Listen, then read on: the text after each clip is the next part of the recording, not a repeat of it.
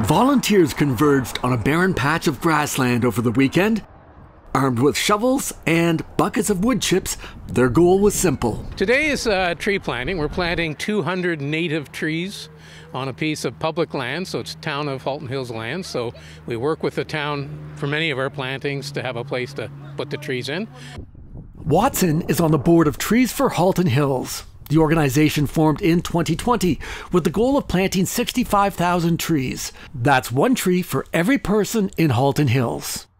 We always plant native trees. One thing we've come to realize is that certain trees are more likely to survive in these kind of circumstances where they're not going to be tended like in your backyard. We are planting white pine, uh, white cedar, red cedar, and some trembling aspen, which are all very resilient native species that we hope will establish a forest in this area that's currently just turf.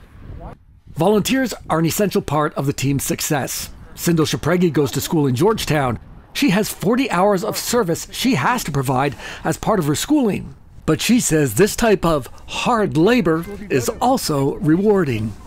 I think it's fun to help the community. It's special to help nature. It's not a very nice day, but we're all together doing it, so it's nice. One of the main partners in this planting is the Georgetown Rotary Club. Their members were out digging holes and agreed to handle additional watering for the trees until they become established, which improves the odds of each tree surviving in the wild by about 20%. But this isn't their first go at tree planting.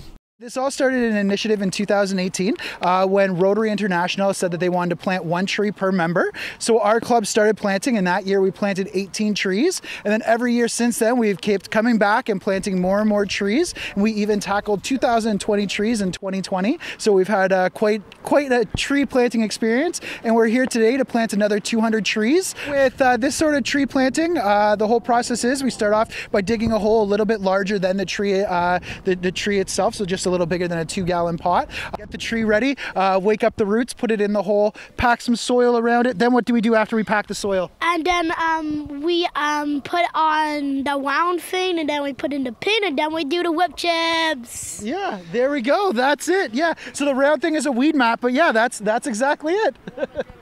Trees for Halton Hills has planted about 9,000 trees since 2020. With 56,000 more to go, they're looking for people to join the cause. You can register a tree you plant yourself on their website, and that means one less hole for them to dig. Watching barren land come alive near Georgetown's Standish Street Park, I'm Dee Glazebrook for Halton News.